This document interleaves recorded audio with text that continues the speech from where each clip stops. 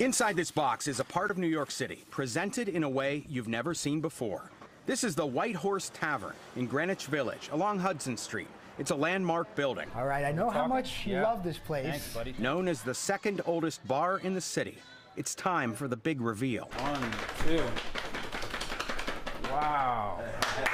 The miniature model manages to capture the meaning of the place. To me, this just captures everything the tavern is. It's uh, it's like a portal to another time. I grew up in New York my whole life, so I passed by this place a hundred thousand times, and it's it was kind of it, you know it was a different place before I bought it. It was kind of a rite of passage. I had to That's- do it for you. That's a part of the story you got to tell. That you sat there and you counted the wooden slats. Yeah, counted the slats. Of course, all this is counted for. This- Eytan Sugarman is the owner of White Horse Tavern. Got the stars, Yeah. the air conditioning with the little. Uh, No, I think it's great, man. He commissioned this piece. To me, it's it's the ultimate New York tavern experience.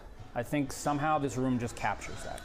I, I take no credit for it. I think somehow the room just has this thing. The artist is Jack Giambanco from Sheepshead Bay. this is where I sketch out the initial design.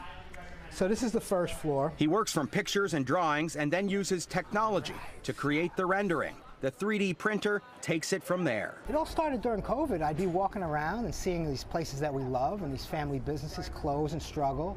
And I thought, how can I use my skills to, to somehow give back to the community? This place is bigger than me. This isn't, you know, that I'm I'm so privileged to own this place. It's such an important piece of New York history. capturing a bit of New York that's disappearing quickly, and to have these little models showcase this history permanently is truly a, a gift to all of us New Yorkers. It can take weeks to put these together. The artist builds them one section at a time. Businesses hire him to make some of the buildings. Others he does because they're significant to him. The model is on display here at the White Horse in Greenwich Village. Greg Mocker, Pix 11 News.